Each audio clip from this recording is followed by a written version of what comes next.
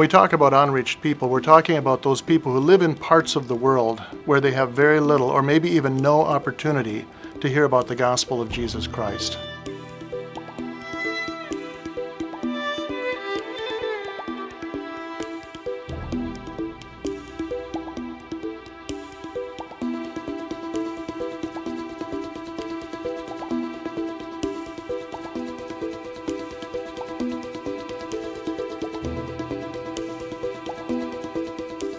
These are the parts of the world that are dominated by Islam or by Buddhism or by Hinduism.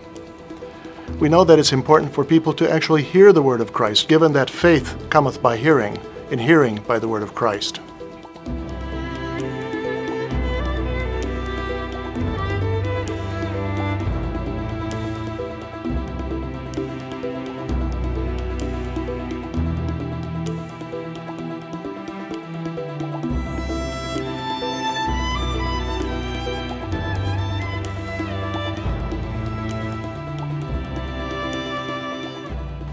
Think if you were to visit Africa and the Middle East, some of the first things that would strike you really are, is the poverty, the crowded streets, um, just the struggle that people face in their daily lives.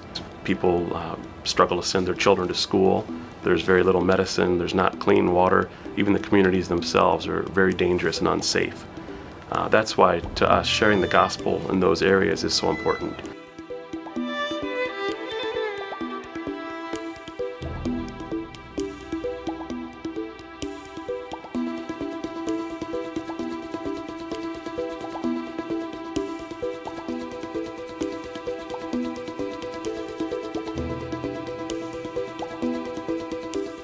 Many of these people just don't have the opportunity to hear the gospel.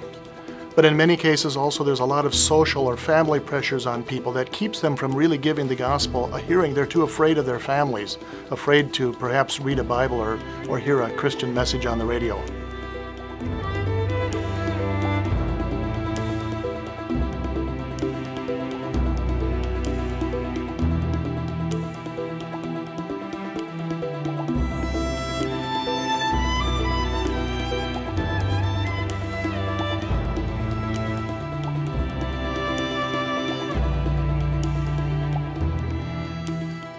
There are so many unreached people that still haven't heard the good news because of the caste system. There are theological obstacles. Muslims, for example, simply cannot accept the divinity of Christ, or they cannot accept the fact that he died on the cross, or that he is literally the Son of God. So these are huge theological obstacles to overcome in proclaiming the gospel to these people.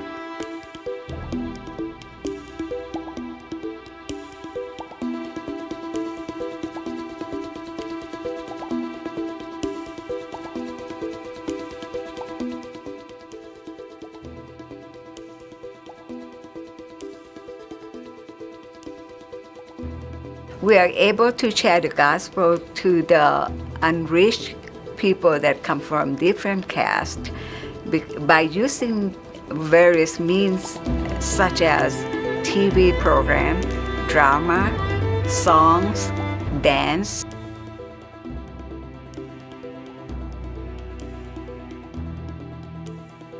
In places where radio is forbidden, for example in Ethiopia, we'll use generators and mobile film projectors and actually take the gospel out to rural villages where people maybe have never heard the word. Uh, in some of those villages, people have not even seen a moving picture. So the message is very powerful when it, when it reaches those areas. Um, in other places, like in Lebanon, uh, where Islam dominates, it's very difficult to go out and share the gospel personally or with a mass rally.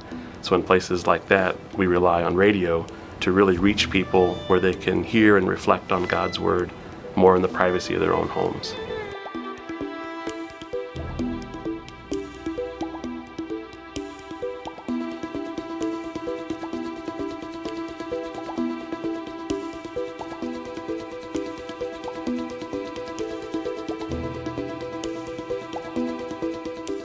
You know, a lot of these people around the world are living in fear.